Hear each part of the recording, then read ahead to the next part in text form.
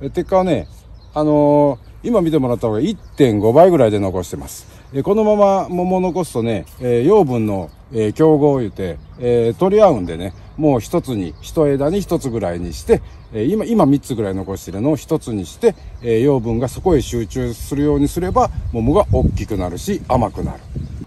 えっと、一番大事なのは、え傷とか、すれが、あと病気とかがないかをきっちり見る。あとは、つける場所だね。場所がね、あれよ、あんまり先端とかに行くと、こう風で揺れて、こう枝が折れる元になったりとか、これわかる？これ今、この超過紙だから、二つぐらいは桃つけてんじゃけど、ここへ一つ残すと、すごい揺れるんよな。これこんなに大きくなる。ソフトボール台になるんで、これ揺れると、やっぱここから折れちゃったりとかするんで、もう先端はもうこうじゃな。うん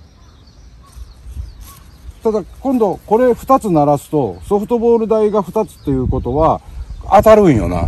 だから近すぎてもえんのよな。じゃけん、もう、まあこれだな。これが一番綺麗だな。うん。これ落とします。もうこれ、これ1個。とね、本当に桃を1個ずつよく見てほしいんじゃけど、えー、例えばね、これら綺麗じゃな。はい。これこれアップにして。カメムシ。これをこっちから見とると気づかんのよな。こういう目線で見ると、すごい綺麗に見えるんだけど、しっかりこう見ると、やられとんのがわかるけん、こういうのはもう問答無用で100%落とします。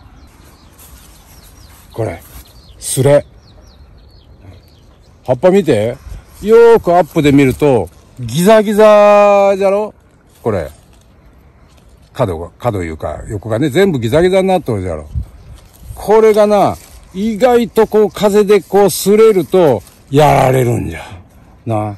これは一番注意。だからこういうのを見かけたらもう、これは問答無用で落とします。えい。よし、ほんならここは俺がな、鉄火の極意っていうのを教えたろうか。まあ今の感じでどんどんどんどん落としていくんじゃけど、お、ここ、ここやな。例えばな。こ、ここもな、3つもついとろうが。これな、もうこれは1個でええんじゃ。これ、もうどう見ても、これ真ん中が、これが綺麗やな。こんな感じでな。どこ行くん？おい、おい、ありがとうございました。おい、ちょ、ちょ、ちょ、ちょ、ちょ。勉強になりました。またよろしくお願いします。おい、おい、ちょ、途中途中。